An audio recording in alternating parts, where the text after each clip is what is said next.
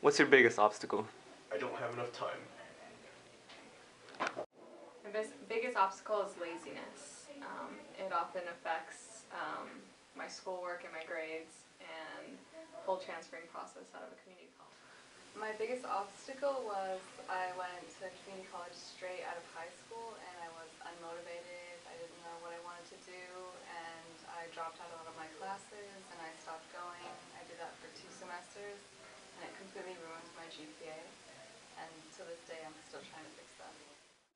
Coming from a very small high school with about like 200 students, it was a really hard transition to come to college with thousands of students and so many different backgrounds. And it's just a different environment. So my biggest obstacle would be walking around campus confidently and just um, just being in class, being confident, not being so insecure because I wear the headscarf, so it just makes me insecure. It makes me feel like everyone's just watching me, even if they're not. So that's pretty much it.